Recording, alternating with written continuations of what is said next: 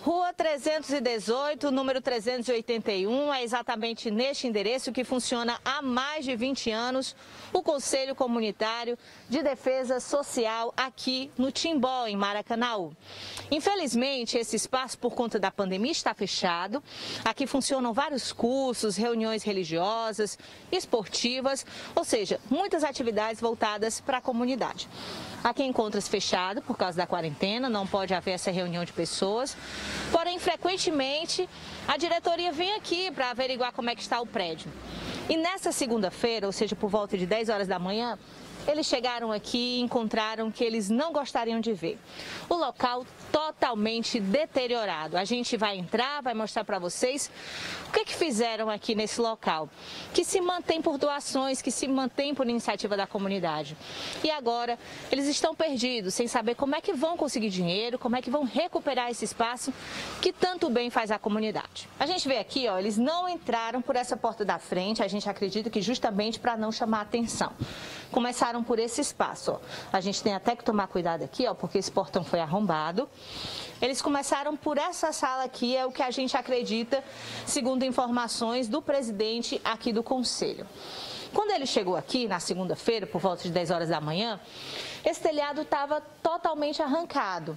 Eles já cobriram com medo da chuva para não danificar mais, mas ali ficaram algumas telhas ó, que foram quebradas dessas pessoas ou dessa pessoa que entrou aqui no local.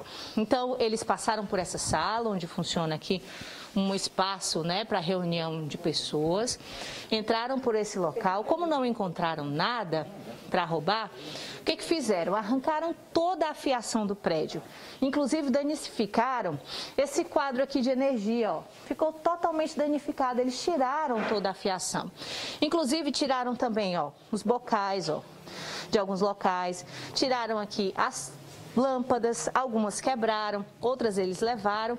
Ou seja, vieram aqui no seu rastro de destruição, passando por outros espaços. Aí eles entraram nessa sala aqui, ó. Por isso arrombaram a porta, aqui, ó, que já estava fragilizada, ó. Quebraram aqui a porta, ó que inclusive está é, tá com sinais de que eles forçaram bastante. Entraram aqui nesse espaço, encontraram aqui uma bicicleta, foi levada, foram até essa, essa, esse local aqui onde ficam alguns arquivos. Levaram um ventilador que estava aí nesse local e do lado do fogão, que o pessoal utiliza aqui para fazer lanches, para fazer merenda aqui para os meninos, ó, levaram um botijão de gás. E aí vieram para essa outra sala onde funciona a administração. Não arrombaram a porta, mas pularam por aqui, ó, que tem um espaço entre o telhado e a parede. Pularam por aqui e quando chegaram nesse espaço, está um pouco escuro, vocês vão notar aqui a diferença de luz, porque está sem energia. E aí chegaram nesse espaço aqui, ó, vamos passar aqui com cuidado. Passaram por aqui e derrubaram o forro. Nessa outra sala encontraram mais dois ventiladores, um ventilador alto que ficava aqui, um ventilador mais pesado e um de teto. E levaram. E em seguida fugiram por aqui, ó. Muito provavelmente destelharam aqui o banheiro, quebraram telhas e fugiram aqui para o terreno que fica atrás, que dá acesso a uma quadra de esportes. Eles ainda aguardam a presença da perícia para conseguir fazer um trabalho, um levantamento aqui, e só em seguida eles correrem atrás de recursos para poder recuperar o que foi danificado aqui no prédio. Vai ser super difícil, porque como você falou, a gente vive de doações e a gente está vivendo um momento difícil.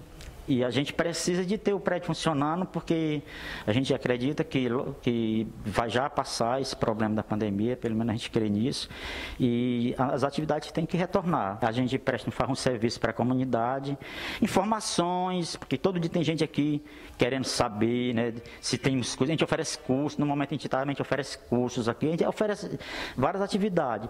No momento nós estamos aqui com capoeira, é, o futsal e e grupos de igreja, né? A gente usa reuniões da comunidade, enfim, ele fica movimentado todos os dias.